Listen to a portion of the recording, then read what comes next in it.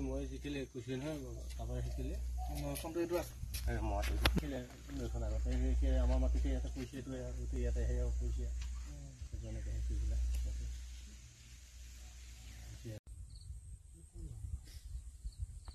বৰুৱা গাঁও মোৰ। বৰুৱা গাঁও। ইয়াৰ জকৰীয়া কাম কৰে এনে দেউতাকৰ ঘৰ টাউনতে যায় খালি এই দুজন ছাত্ৰ সন্থাৰ আপোনালোকৰ পৰিয়ালটো তাত চাকৰি দিয়া কথা আছিলে ন?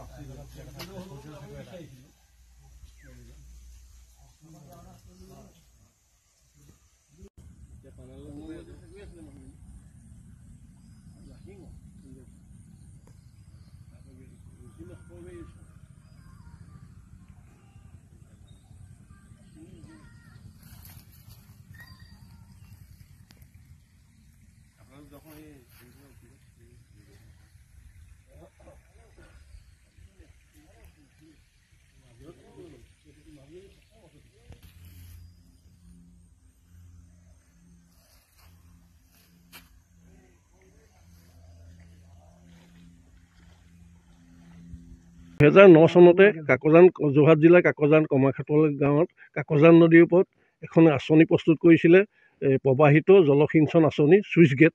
এই গেটখন আমাৰ জনসাধাৰণৰ আমাৰ কৃষি প্ৰধান অঞ্চল। ইয়াত মানে অতি প্ৰয়োজন কাৰণে বস্তুটো আহিছিলে আৰু সেই বস্তু প্ৰজেক্টটো বঢ়াবৰ কাৰণে আমাৰ পৰিয়ালটোৰ লগত কথা পাতিলে নদী কাষত আমাৰ মাটি আছিলে আমি তেতিয়া পাঁচ বিঘা মাটি চৰকাৰক এই আঁচনিখন তৈয়াৰ কৰিবৰ কাৰণে আমি দান দিলোঁ।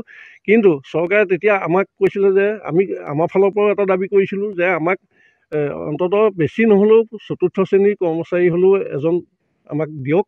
আৰু যিটো মাটিৰ উচিত মূল্য ম্যাদী পট্টা সেই মূল্যটো আমি পাব লাগিব।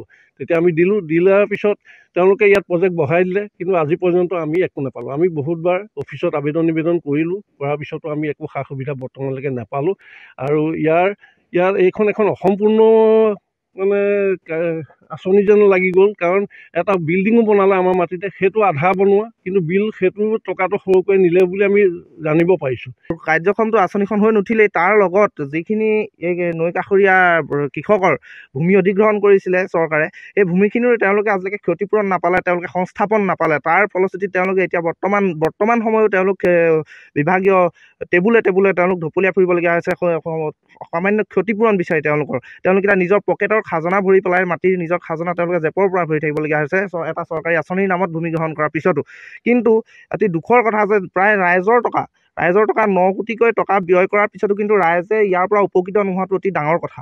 যিহেতু ৰাইজৰ ধনৰ অপব্যৱহাৰ এনেদৰে হোৱাটো আটাইতকৈ সহ্য কৰা নহ'ব। কিন্তু সুদৰ্শন ছাত্ৰ সন্থাই আমি কাকজানবাসী ছাত্ৰ সন্থাই এই ক্ষেত্ৰত দাবী উত্থাপন কৰিছোঁ যে অতি সোনকালে এই বিষয়টো গুৰুত্ব প্ৰদান কৰি চৰকাৰে এই আঁচনিখন কাৰ্যক্ষম কৰি তোলক।